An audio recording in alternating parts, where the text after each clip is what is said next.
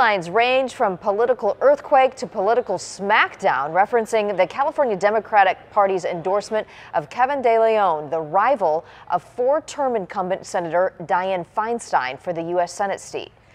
10 News reporter Cassie Carlisle in the live center tonight with the heated conversation that's happening on social media.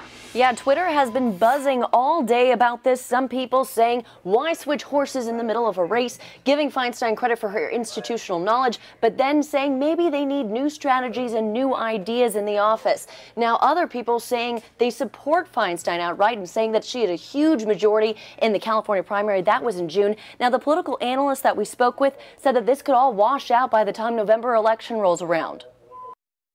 U.S. Senator Dianne Feinstein is running for her fifth term against California State Senator Kevin De Leon.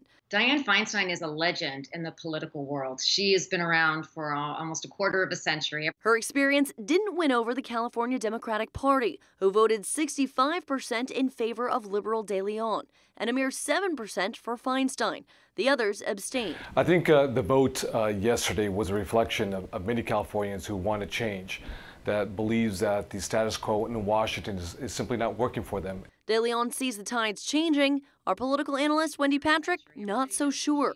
She is, has a lot of support. She's raised a lot of money. So it's questionable whether this latest endorsement is really going to do much or have much of an impact on slowing her down before the general election.